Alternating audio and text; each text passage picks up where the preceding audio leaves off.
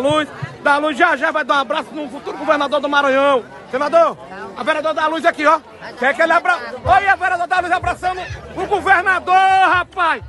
É o seu governador da Luz? É o seu governador?